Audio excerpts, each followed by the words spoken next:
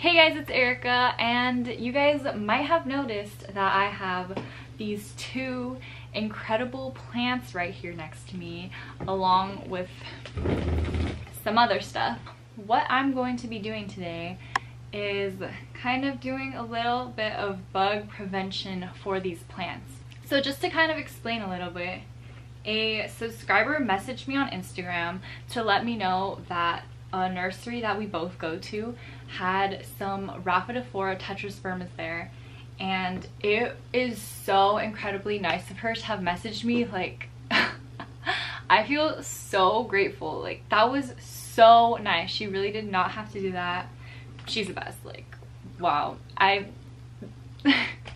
I was just staring at my phone like smiling talking to her because I really can't believe like how nice of her it was.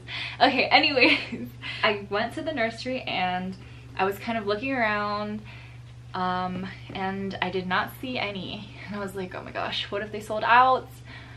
So I asked the lady there, she was like, are you looking for something? And I was like, yeah, do you guys have any Rhaphidophora tetraspermas? And she was like, mm, are you on the wait list? And I was like, oh no. Oh no, I'm about to not get a plant because I didn't know there was a wait list. I told her I wasn't and she was like, uh, how many did you want to buy? And I told her that I only wanted one or two. So she was like, oh, okay.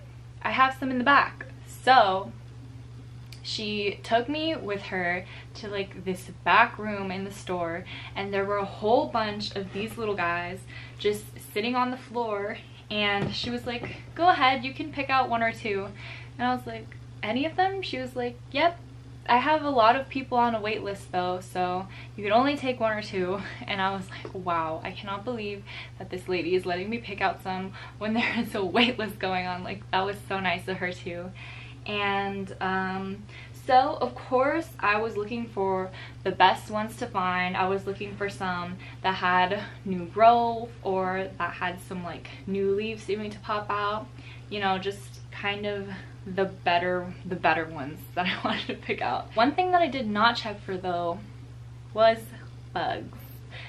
And once I I was sitting in my car and I was just like kind of in shock looking at these plants because let me tell you, they are so much more amazing in person than they are on camera. Like, I did not expect them to be so gorgeous and I am so in love with them. That's why, that's why I bought two. Like, I just feel so thankful to have this plant and I'm really thankful for that one subscriber and she's amazing.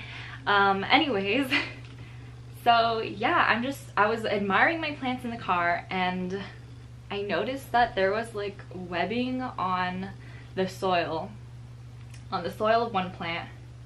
So I went into the nursery and I switched out, I switched out a plant for one without webbing and the reason I did that is because I was so afraid. I never have had spider mites. I don't know 100% what they look like, so I just took it in there just to make sure and I told the lady, I told a lady there, I was like, I don't, I'm, I just bought this plant a little bit ago and I think it might have spider mites.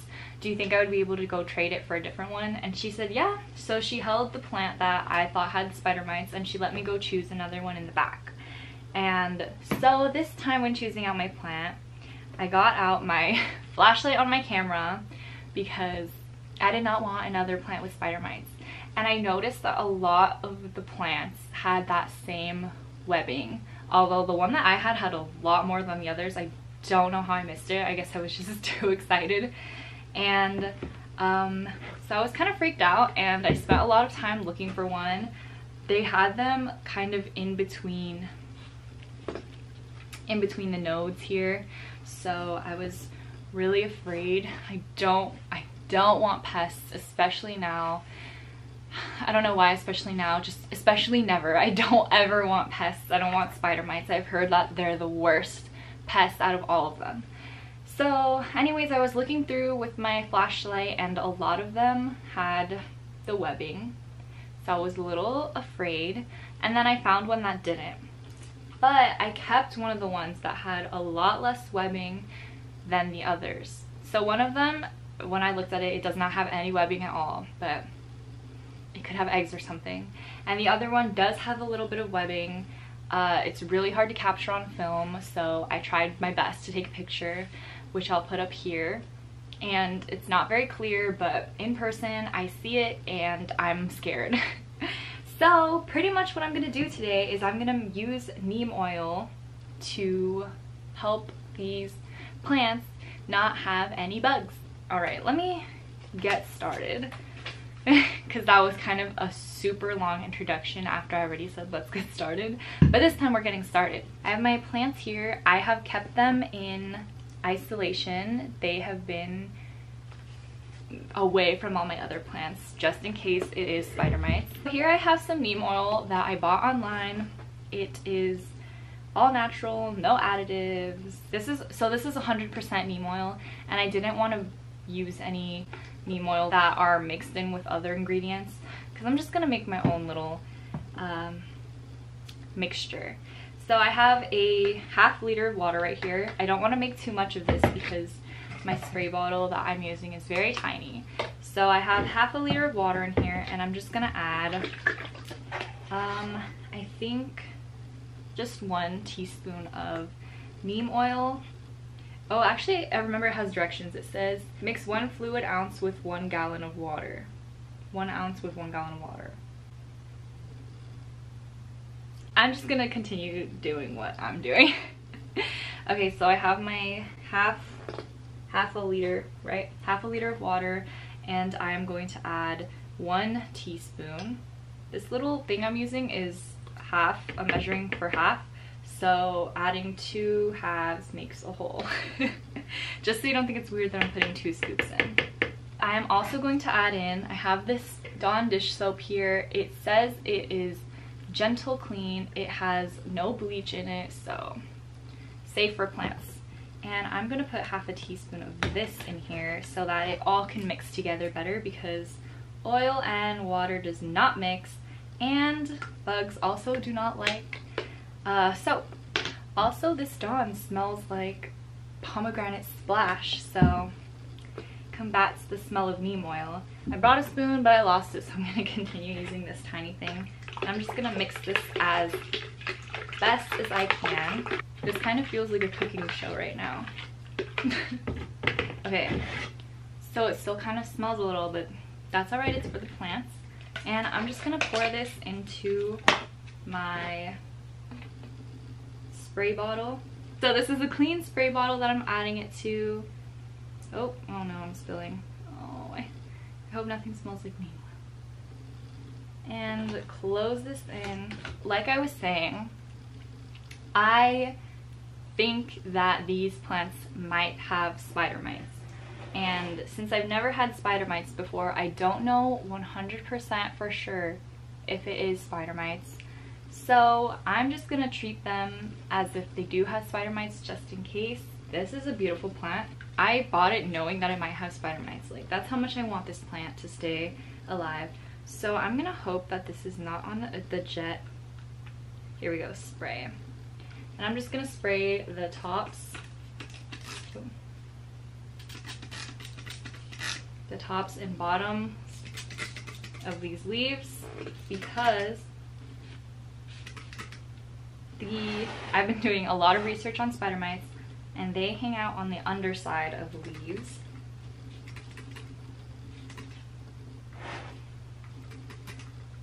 One down.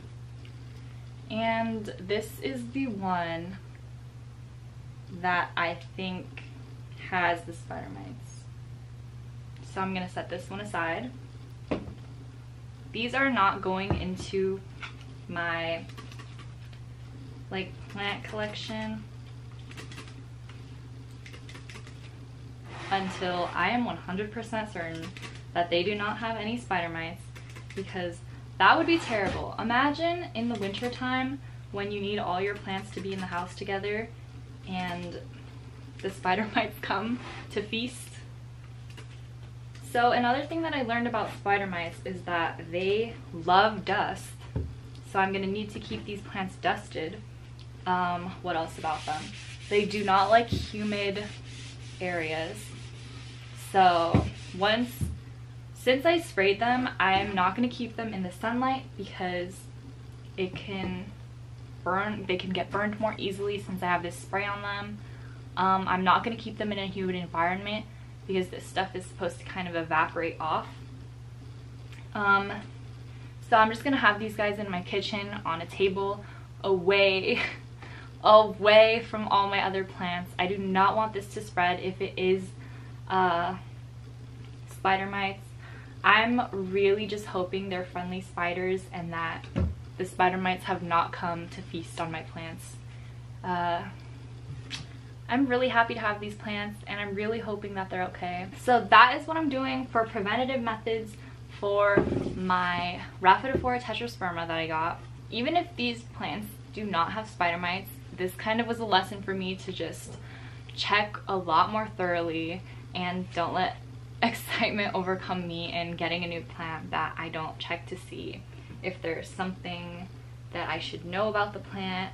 So I'm really, really hoping that those were just some friendly spiders, but the reason that I thought it was spider mites is because it's really fine webbing with little specks of white.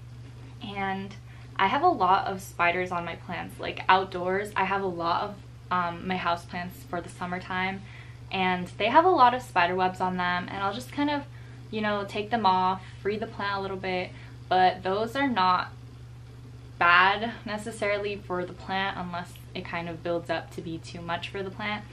But those spiders are fine. They do not harm my plants whatsoever. Spider mites, on the other hand, I am so terrified of. Um, so I know what regular spider webs look like, and these kind of did not appear to me to be regular spider webs that I see in my other plants. So just making sure. Also, side note, I think this plant might be a little bit variegated. It might not be, and I'm just being really dramatic, but I'm to show it to you. This leaf right here I think is a little bit variegated. I could be wrong. I could be so dramatic. Hopefully this little treatment will keep the plant from getting any spider mites or any other bugs or maybe even eradicate ones that it might have already had. Um, I hope this video was helpful to you. I just wanted to give another thank you to my subscriber who messaged me about these plants. Um, I think her name is Sapir. I'm not sure how to pronounce it. I'm so sorry if I pronounced it wrong, but thank you so much again. I really appreciate it so much. Like you didn't have to go out of your way to do that. You did, and I'm just so happy. Okay. Um, but yeah, that's it for today's video. If you guys want to let me know any tips on how to get rid of spider mites or maybe even identifying identifying spider mites, uh, that would be super fantastic because I want to make sure these guys are bug free. And um, yeah, that's it for today's video. Thank you so much for watching and I will see you next time. Bye!